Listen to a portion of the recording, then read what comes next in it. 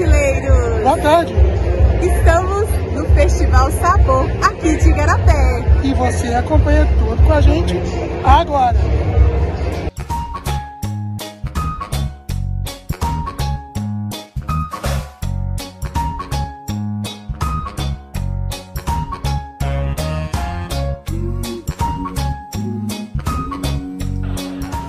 Estivemos no Festival Igarapé Sabor 2023, Mesclas e seus temperos, que chegou à sua quinta edição, que aconteceu entre os dias 6 e 9 de julho, na Praça Miguel Henrique da Silva. Com a programação diversificada e a participação de chefes como Renato Lobato, o festival buscou valorizar as mesclas locais, que são responsáveis pelos sabores tradicionais de Minas Gerais. O Igarapé Sabor celebrou a cultura local e destacou as habilidades culinárias das mesclas do município. Essas mulheres que representaram a tradição da comida mineira utilizando ingredientes cultivados em seus próprios quintais e compartilhando conhecimentos passados de geração em geração. Além de impulsionar a economia local, o festival teve como objetivo preservar a memória gastronômica e envolver as famílias nesse legado.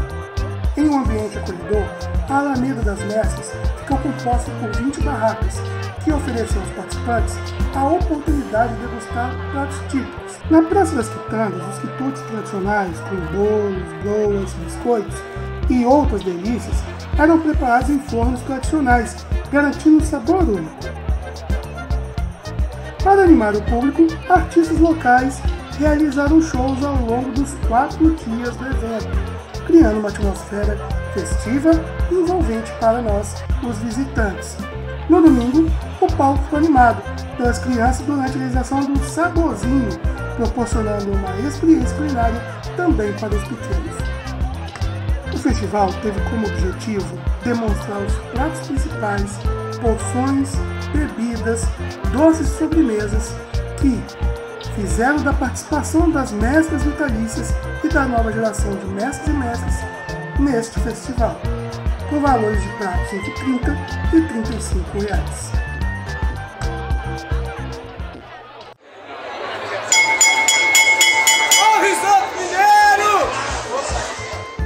Dentre os pratos festival, o escolhido foi o Três Pouquinhos, mas com certeza haviam muitas delícias a serem degustadas em todos os espaços do festival.